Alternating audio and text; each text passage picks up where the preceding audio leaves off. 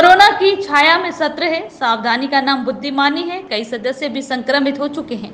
ज़रूरी वित्तीय कार्य काज पूरे किए जाएँगे। किसानों को हरदा भेजने पर जवाब, किसानों को धोखे में रखा कर्ज माफ़ी के नाम पर नोटिस नहीं मिला। लेकिन यह भी स्पष्ट करें कि किसानों से धोखा किया क्यों?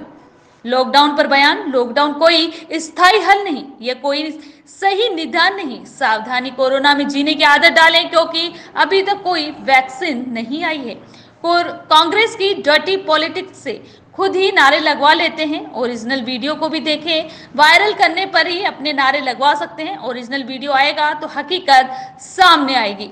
धरने पर बैठ रही कांग्रेस विधायक पर पलटवार। लोगों को मालूम है कि वहाँ के लोग इस तरह से क्यों बैठते हैं। अभी ज़्यादा नहीं बढ़ी है बात। आगे बढ़ेगी तो फिर देखा जाएगा। और आवाज़ आ रही है पीछे से कमलनाथ अब ये कांग्रेस की डर्टी पॉलिटिक्स है। अब ये सिर्फ़ वायरल करने पर ही नारे अपने लगवा सकते हैं। पब्लिक तो इनके नारे लगाने से रही। ग्वालियर यात्रा का फजीता भी आपने देख लिया होगा। क्या स्थिति थी कमलनाथ जी की? जब मुख्यमंत्री थे, तब गए नहीं। और जब गए तो फिर लोग नहीं। दूसरे दिन की स्थिति आप सबने देखी होगी। और इसलिए इस तरह की राजनीति नहीं करें। उस ओरिजिनल वीडियो को भी देखें। वैसे जनता ने लाइव देखा है आप सबके चैनलों पर।